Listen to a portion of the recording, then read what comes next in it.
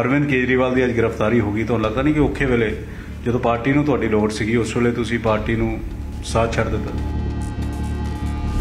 ਕਾਂਗਰਸ 'ਚ ਰਹਿੰਦੇ ਆ, ਆਮ ਆਦਮੀ ਪਾਰਟੀ 'ਚ ਰਹਿੰਦੇ ਆ, ਮੈਂ ਔਰ ਮੇਰੇ ਪਰਿਵਾਰ ਨੇ ਕਦੀ ਵੀ ਕਿਸੇ ਤਰ੍ਹਾਂ ਦਾ ਕੋਈ ਨਿੱਜੀ ਬੈਨੀਫਿਟ ਹੈ ਉਹ ਲੈਣ ਦੀ ਕੋਸ਼ਿਸ਼ ਨਹੀਂ ਕੀਤੀ ਕਿਉਂਕਿ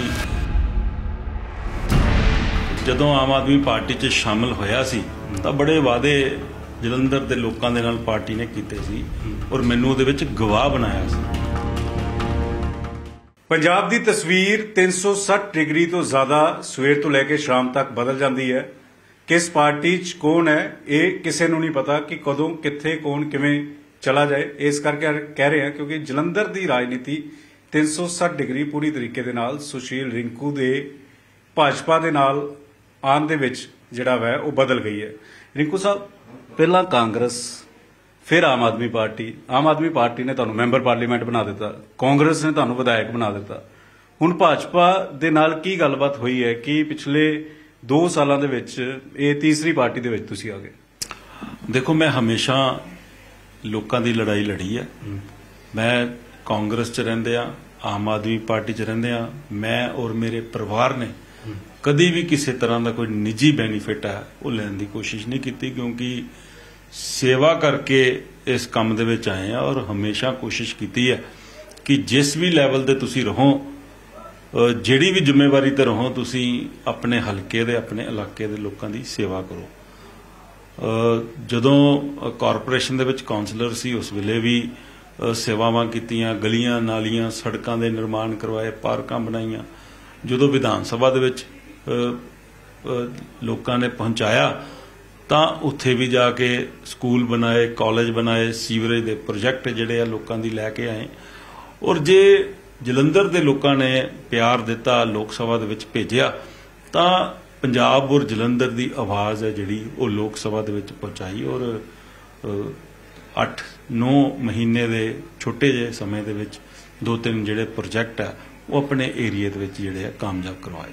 ਭਾਜਪਾ ਚ ਆਉਣ ਦੀ ਵਜ੍ਹਾ ਕੀ ਹੋਈ? ਕਿਉਂਕਿ ਤੁਹਾਡੀ ਇੱਕ ਤਸਵੀਰ ਵਾਇਰਲ ਹੁੰਦੀ ਹੈ। ਪਾਰਲੀਮੈਂਟ ਦੇ ਬਾਹਰ ਤੁਸੀਂ ਭਗਤ ਸਿੰਘ ਵਾਲੀ ਪਗੜੀ ਪਾ ਕੇ ਸੰਗਲ ਜਿਹੜੀ ਉਹ ਬੰਨੀ ਹੁੰਦੀ ਹੈ ਔਰ ਭਾਜਪਾ ਦਾ ਵਿਰੋਧ ਕਰਦੇ ਹੋ। ਉਹ ਸੰਗਲ ਕਿਸ ਦੇ ਲਈ ਸੀ? ਦੇਖੋ ਗੱਲ ਹੈ ਕਿ ਜਦੋਂ ਆਮ ਆਦਮੀ ਪਾਰਟੀ 'ਚ ਸ਼ਾਮਲ ਹੋਇਆ ਸੀ ਤਾਂ ਬੜੇ ਵਾਅਦੇ ਜਲੰਧਰ ਦੇ ਲੋਕਾਂ ਦੇ ਨਾਲ ਪਾਰਟੀ ਨੇ ਕੀਤੇ ਸੀ ਔਰ ਮੈਨੂੰ ਉਹਦੇ ਵਿੱਚ ਗਵਾਹ ਬਣਾਇਆ ਸੀ ਕਿ ਤੁਸੀਂ ਸੁਸ਼ੀਲ ਕੁਮਾਰ ਰਿੰਕੂ ਨੂੰ ਵੋਟ ਪਾਓ। ਅਸੀਂ ਸੜਕਾਂ ਬਣਾਵਾਂਗੇ, ਛੱਪੜ ਬਣਾਵਾਂਗੇ, ਪਿੰਡਾਂ ਦੀਆਂ ਫਿਰਨੀਆਂ ਬਣਾਵਾਂਗੇ, ਲਿੰਕ ਰੋਡਸ ਹੈ ਜਿਹੜੀਆਂ ਟੁੱਟੀਆਂ, ਉਹ ਸਾਰੇ ਕੰਮ ਕਰਾਂਗੇ, ਸ਼ਹਿਰ ਨੂੰ ਸਵਾਰਾਂਗੇ, ਕੂੜੇ ਚਕਾਵਾਂਗੇ। ਤਾਂ ਬਾਰ-ਬਾਰ ਯਾਦ ਦਿਲਵਾਨ ਤੇ ਕਿ ਇਲੈਕਸ਼ਨ ਸਿਰ ਤੇ ਆ ਗਿਆ, ਕੰਮ ਕਰਵਾ ਦਈਏ, ਕੰਮ ਕਰਵਾ ਦਈਏ, ਪਰ ਉਹ ਕੰਮ ਹੈ ਜਿਉਂ ਦੇ ਤਿਉਂ ਖੜੇ ਆ ਮੇਰੇ ਕੋਲ ਸਾਰੀਆਂ ਫਾਈਲਾਂ ਦੇ ਢੇਰ ਲੱਗੇ ਆ। ਸਾਡਾ ਜਿਹੜਾ ਜਿਸ ਸਮੇਂ ਮੈਂ ਪਿਛਲੀ ਪਾਰਟੀ ਚ ਆਮ ਆਦਮੀ ਪਾਰਟੀ ਦੇ ਵਿੱਚ ਸੀਗਾ, ਸਾਡਾ ਕਾਰਜਕਰਤਾ ਜਿਹੜਾ ਪਰੇਸ਼ਾਨ ਸੀ। ਕਿਉਂਕਿ ਉਹਨੇ ਬੜੇ ਵਾਅਦੇ ਕੀਤੇ ਸੀ ਆਪਣੇ ਪਿੰਡਾਂ 'ਚ, ਆਪਣੇ ਮਹੱਲਿਆਂ ਦੇ ਵਿੱਚ ਲੋਕਾਂ ਨੂੰ ਕਿ ਸਾਡਾ ਮੈਂਬਰ ਪਾਰਲੀਮੈਂਟ ਬਣਾਓ, ਅਸੀਂ ਤੁਹਾਡੇ ਸਾਰੇ ਕੰਮ ਕਰਵਾਵਾਂਗੇ। ਪਰ ਕਾਰਜਕਰਤਾ ਵੀ ਮਿਊਸ ਜੀ ਮਿਊਸ ਸੀਗਾ ਔਰ ਸਾਡਾ ਵਰਕਰ ਹੈ ਜਿਹੜਾ, ਉਹ ਮਿਊਸ ਸੀਗਾ, ਕਿਸੇ ਤਰ੍ਹਾਂ ਦਾ ਕੋਈ ਕੰਮ ਨਹੀਂ ਹੋਇਆ। ਤਾਂ ਮੈਂ ਸਮਝਦਾ ਕਿ ਮੈਨੂੰ ਇੱਕ ਆਸ ਹੈ ਜਿਹੜੀ ਅੱਜ ਸ਼ਹਿਰ ਦੇ ਲਈ, ਆਪਣੇ ਜਲੰਧਰ ਦੇ ਹਲਕੇ ਦੇ ਲਈ, ਚਾਹੇ ਉਹ ਸਾਡੇ ਪਿੰਡੂ ਹਲਕੇ ਆ, ਚਾਹੇ ਸ਼ਹਿਰੀ ਹਲਕੇ ਆ, ਇੱਕ ਆਸ ਹੈ ਕਿ ਜਿਸ ਤਰੀਕੇ ਦੇ ਨਾਲ ਮੈਨੂੰ ਕੇਂਦਰ ਦੇ ਵਿੱਚ ਜਾ ਕੇ ਜਲੰਧਰ ਦੇ ਐਵੀਏਸ਼ਨ ਮੰਤਰੀ ਨੂੰ ਮਿਲਿਆ, ਉਹਨਾਂ ਨੇ 에ਅਰਪੋਰਟ ਚਾਲੂ ਕਰਵਾਇਆ 31 ਤਰੀਕ ਨੂੰ ਫਲਾਈਟ ਜਿਹੜੀ ਆ, ਉਤਰ ਰਹੀ ਹੈ ਰੇਲਵੇ ਮੰਤਰੀ ਨੂੰ ਮਿਲਿਆ, ਉਹਨਾਂ ਨੇ ਟ੍ਰੇਨ ਸ਼ੁਰੂ ਕਰਵਾਈ, ਜਲੰਧਰ ਦੇ ਵਿੱਚ ਸਟਾਪੇਜ ਦਿੱਤਾ, ਔਰ ਜਿਹੜੇ ਪੁਲ ਬੰਨੇ ਆ ਜਿੱਥੇ ਜਿੱਥੇ ਫਾਟਕ ਹੈ ਫਲੋਰ ਦੇ ਵਿੱਚ ਹੈ ਭੋਗਪੁਰ ਦੇ ਵਿੱਚ ਹੈ, ਕਰਤਾਰਪੁਰ ਦੇ ਵਿੱਚ ਹੈ, ਸੁਭਾਨਪੁਰ ਲੱਗਦਾ ਸਾਰੇ ਪਾਸੇ ਜਿੱਥੇ ਜਿੱਥੇ ਵੀ ਰੇਲਵੇ ਕ੍ਰਾਸਿੰਗਸ ਹੈ, ਉਹਨਾਂ ਨੂੰ ਖਤਮ ਕਰਕੇ ਤਾਂ ਕਿ ਉੱਥੇ ਟ੍ਰੈਫਿਕ ਜਾਮ ਨਾ ਲੱਗੇ, ਉਹਦੇ ਸਾਰੇ ਜਿਹੜੀਆਂ ਪ੍ਰਪੋਜ਼ਲਾਂ ਕੰਮ ਚੱਲ ਰਹੀਆਂ, ਮੈਂ ਚਾਹੁੰਦਾ ਕਿ ਜਲੰਧਰ ਦਾ ਵਿਕਾਸ ਹੋਵੇ। ਸੋ ਮੈਨੂੰ ਪ੍ਰਧਾਨ ਮੰਤਰੀ ਦੇ ਵਰਡਸ ਹੈ ਜਿਹੜੇ, ਉਹਨਾਂ ਦੇ ਵਿੱਚ ਕੁਝ ਤਾਕਤ ਨਜ਼ਰ ਆਈ, ਸੋ ਇਸ ਕਰਕੇ ਮੈਂ ਲੇਕਿਨ ਬਾਈ ਇਲੈਕਸ਼ਨ ਤੁਹਾਨੂੰ ਅਰਵਿੰਦ ਕੇਜਰੀਵਾਲ, ਭਗਵੰਤ ਮਾਨ ਨੇ ਮਿਲ ਕੇ ਜਿਤਾਈ, ਉਹਨਾਂ ਨੇ ਪ੍ਰਚਾਰ ਤੁਹਾਡੇ ਲਈ ਬਹੁਤ ਸਾਰਾ ਕੀਤਾ।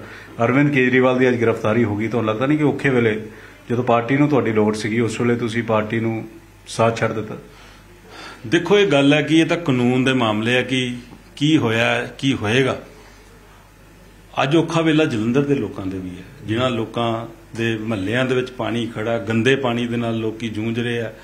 ਜਿਨ੍ਹਾਂ ਛੱਪੜਾਂ ਦੇ ਵਿੱਚੋਂ ਸਕੂਲ ਦੇ ਬੱਚੇ ਲੰਘ ਰਿਹਾ, ਛੱਪੜ ਓਵਰਫਲੋ ਹੈ, ਉਹ ਵੀ ਤਾਂ ਦੁੱਖ ਜਿਹੜਾ ਜਲੰਧਰ ਦੇ ਲੋਕਾਂ ਦਾ, ਉਹ ਹੱਲ ਕਿਉਂ ਨਹੀਂ ਕੀਤਾ ਜਾਂਦਾ?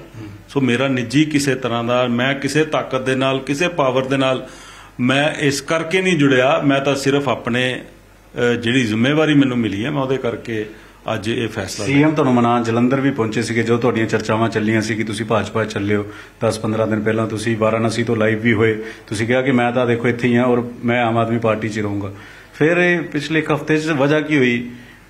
ਅਮਿਤ ਸ਼ਾਹ ਹੋਰਾਂ ਦਾ ਫੋਨ ਆਇਆ ਪ੍ਰਧਾਨ ਮੰਤਰੀ ਨਾਲ ਗੱਲਬਾਤ ਹੋਈ ਜਾਂ ਕਿਸ ਤਰੀਕੇ ਨਾਲ ਕੀ ਨਾਰਾਜ਼ਗੀ ਜਾਂ ਕੀ ਗੱਲਬਾਤ ਹੋਈ? ਦੇਖੋ ਸੀਐਮ 2 ਦਿਨ ਜਲੰਧਰ ਰਹੇ ਔਰ ਜਲੰਧਰ ਦੇ ਵਿੱਚ ਉਹਨਾਂ ਨੇ ਕਿਉਂਕਿ ਟਿਕਟ ਅਨਾਉਂਸ ਹੋ ਚੁੱਕੀ ਸੀ ਇੱਕ ਵੀ ਸਾਡੇ ਐਮਐਲਏ ਨੂੰ, ਇੱਕ ਵੀ ਸਾਡੇ ਕਾਰਜਕਰਤਾ ਨੂੰ, ਇੱਕ ਵੀ ਪ੍ਰੋਮਿਨੈਂਟ ਜਿਹੜੇ ਕਾਂਗਰਸ, ਜਿਹੜੇ ਆਮ ਆਦਮੀ ਪਾਰਟੀ ਦੇ ਲੀਡਰ ਹੈ ਉਹਨਾਂ ਨੂੰ ਬੁਲਾ ਕੇ ਇਲੈਕਸ਼ਨ ਦੇ ਉੱਤੇ ਕੋਈ ਚਰਚਾ ਨਹੀਂ ਕੀਤੀ। ਮੈਨੂੰ ਨਹੀਂ ਲੱਗਦਾ ਕਿ ਉਹ ਫੇਰੀ ਜਿਹੜੀ ਹੈ ਸੀਐਮ ਸਾਹਿਬ ਦੀ, ਜਿਹੜੀ ਜਲੰਧਰ ਦੇ ਵਿੱਚ ਸੀਗੀ, ਉਹ ਇਲੈਕਸ਼ਨ ਨੂੰ ਲੈ ਕੇ ਸੀਗੀ।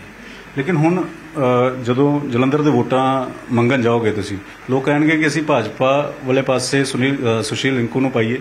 ਅਸੀਂ ਕਾਂਗਰਸ ਵਾਲੇ ਸੁਸ਼ੀਲ ਰਿੰਕੂ ਨੂੰ ਪਾਈਏ ਜਾਂ ਆਮ ਆਦਮੀ ਪਾਰਟੀ ਵਾਲੇ ਸੁਸ਼ੀਲ ਰਿੰਕੂ ਨੂੰ ਪਾਈਏ? ਦੇਖੋ ਇਹਦੇ ਲਈ ਤੁਹਾਨੂੰ ਚਿੰਤਾ ਕਰਨ ਦੀ ਜ਼ਰੂਰਤ ਨਹੀਂ ਇਹਦਾ ਫੈਸਲਾ ਜਲੰਧਰ ਦੇ ਲੋਕਾਂ ਨੇ ਕਰਨਾ। ਕਿਉਂਕਿ ਹੁਣ ਤੱਕ ਤੁਸੀਂ ਭਾਜਪਾ ਤੇ ਨਿਸ਼ਾਨੇ ਸਾਧ ਰਹੇ ਸੀਗੇ। ਲੋਕ ਪੁੱਛਣਗੇ ਕਿ ਭਾਜਪਾ ਤੇ ਨਿਸ਼ਾਨੇ ਸਾਧਨ ਵਾਲੇ ਰਿੰਕੂ ਨੂੰ ਕੀ ਹੋਇਆ? ਜਦੋਂ ਲੋਕ ਪੁੱਛਣਗੇ ਤਾਂ ਲੋਕਾਂ ਨੂੰ ਮੈਂ ਉਹਦਾ ਨਾਲ ਜ਼ਰੂਰ ਗੱਲ ਕਰਾਂਗਾ।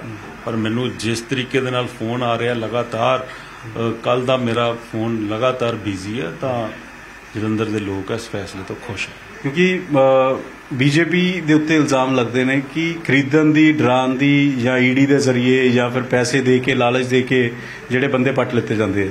ਤੁਹਾਡੇ ਸਾਥੀ ਜਿਹੜੇ ਨਾਲ ਜੁਆਇਨ ਕੀਤੇ ਸੀ ਸ਼ੀਤਲ ਅੰਗਰਾਲ, ਉਹਨਾਂ ਨੇ ਵੀ ਪਿੱਛੇ ਆਪਰੇਸ਼ਨ ਲੋਟਸ ਦਾ ਜ਼ਿਕਰ ਕੀਤਾ ਸੀ। ਕੋਈ ਪੈਸੇ ਦੀ ਵੀ ਡੀਲ ਹੋਈ ਹੈ ਜਾਂ ਕੋਈ ਪੈਸੇ ਦੀ ਆਫਰ ਹੋਈ ਸੀ ਜਾਂ ਕੋਈ ਡਰਾਇਆ ਗਿਆ ਜਾਂ ਕੋਈ ਪਰਚੇ ਦਾ ਦਿੱਤਾ ਗਿਆ ਜਾਂ ਫਿਰ ਤੁਹਾਡੀ ਮਰਜ਼ੀ ਸੀਗੀ? ਜਿਹੜਾ ਆਪਰੇਸ਼ਨ ਲੋਟਸ ਹੈ ਇਹ ਤਾਂ ਇੱਕ ਸਕ੍ਰਿਪਟ ਸੀਗੀ। ਆਮ ਆਦਮੀ ਪਾਰਟੀ ਦੀ ਲਿਖੀ ਹੋਈ।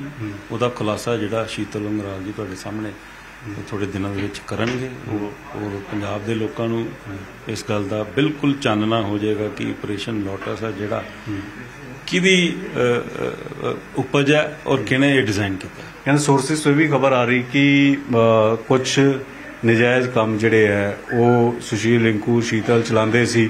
ਇਹ ਖਬਰਾਂ ਕਿਤੋਂ ਆ ਰਹੀਆਂ ਕਿ ਉਹ ਪਰਚੇ ਨਾ ਪੈਣ ਜਾਂ ਪਰਚਿਆਂ ਨੂੰ ਲੈ ਕੇ ਔਰ ਉਸ ਤੋਂ ਬਾਅਦ ਕਹਿੰਦੇ ਕਿ ਬੀਜੇਪੀ ਨਾਲ ਕੋਈ ਗੱਲਬਾਤ ਹੋ ਗਈ ਜਾਂ ਕੋਈ ਇਸ ਤਰੀਕੇ ਦੀ ਗੱਲਬਾਤ ਹੋ ਗਈ? ਨਜਾਇਜ਼ ਕੰਮ ਜੇ ਅਸੀਂ ਕੋਈ ਚਲਾਉਂਦੇ ਸੀਗੇ ਉਹ ਤਾਂ ਫਿਰ ਪੰਜਾਬ ਸਰਕਾਰ ਦੇ ਅਧਿਕਾਰ ਖੇਤਰ 'ਚ ਅਗਰ ਕੋਈ ਨਜਾਇਜ਼ ਕੰਮ ਅਗਰ ਕੋਈ ਨਜਾਇਜ਼ ਕੰਮ ਅਸੀਂ ਚਲਾਉਂਦੇ ਆ ਤਾਂ ਪੁਲਿਸ ਜਿਹੜੀ ਹੈ ਪੰਜਾਬ ਦੀ ਸਾਡੇ ਉਹ ਨਜਾਇਜ਼ ਕੰਮਾਂ ਨੂੰ ਫੋਲ ਕੇ ਤਾਂ ਉਹਨਾਂ ਤੇ ਕਾਰਵਾਈ ਕਰ ਦੇਵੇ।